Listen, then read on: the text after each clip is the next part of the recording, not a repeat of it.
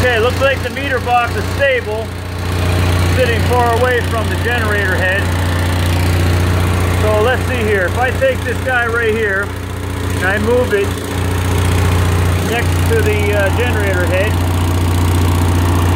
I can get the goddamn thing over there.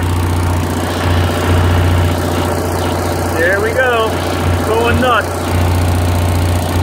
This is where I had it all the time.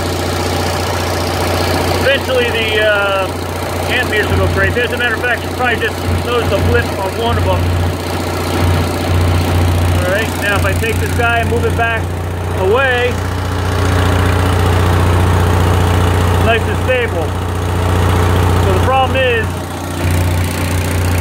either there's something going on in the generator head that's causing uh, some kind of RFI problem, or these cheap Chinese meters are susceptible any of this stuff.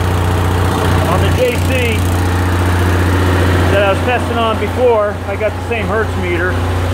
Yes, it is next to the generator head, but who knows, maybe there's better shielding, I don't know.